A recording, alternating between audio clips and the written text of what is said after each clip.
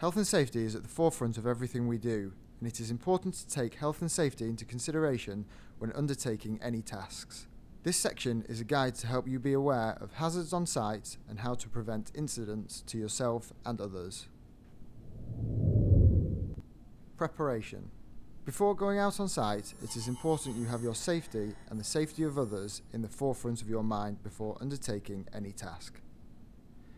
Being under the influence of drink or drugs on site is strictly forbidden. If you have any social events planned, do not accept shifts where you may still be under the influence the next day.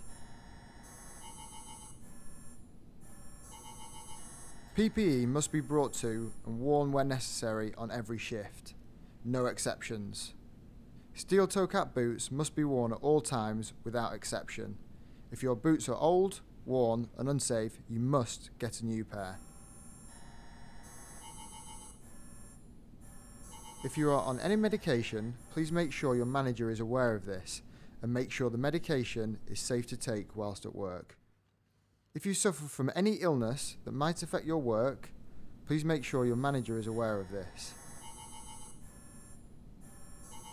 Make yourself familiar with the Silverback Health and Safety intranet, where you can find all of our health and safety procedures, crew handbook, and much more. Make sure Silverback have an up to date emergency contact number if you were to be taken ill or suffer an injury. On site. Whilst on site, always maintain a high level of health and safety. Do not put your colleagues, clients, or members of the public in danger by your actions. Ask for advice and guidance if needed. If you see anything that you deem to be unsafe, stop and report to your crew chief. Always use the correct lifting techniques and lifting aids where possible.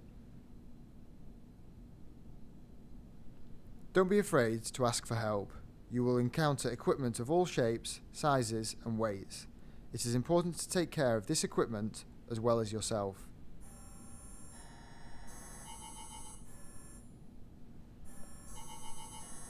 Familiarise yourself with the area you're working in and the path to and from the different areas of work.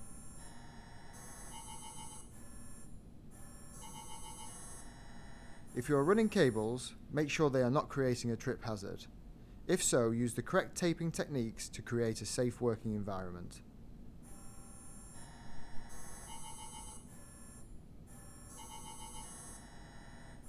Do not stand on a flight case at any time. If required to perform a task that is out of your reach, you must use a set of ladders. If using ladders, always make sure you are wearing your hard hat. If you are working above 2.5 metres, ask somebody to foot your ladder. They also need to be wearing a hard hat in case anything should fall from above. When footing a ladder, concentrate. No mobile phones, no chatting.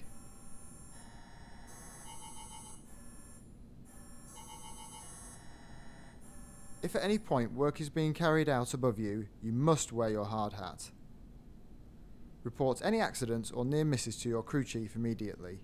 This way, a plan of action can be put in place and we can prevent this from happening in the future. Your crew chief will be first aid trained. If more assistance is required, then your crew chief will arrange further assistance. If an accident should occur, report this to your crew chief straight away. Also log in and fill out our accident report form online on our health and safety intranet.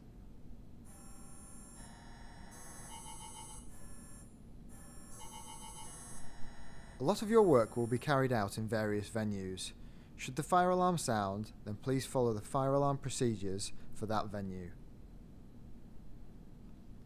At times there will be large plant machinery being used on site, such as scissor lifts and forklift trucks.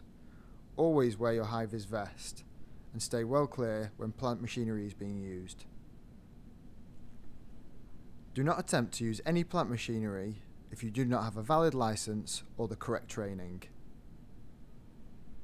If you get asked to do something you consider unsafe, report to your crew chief for advice.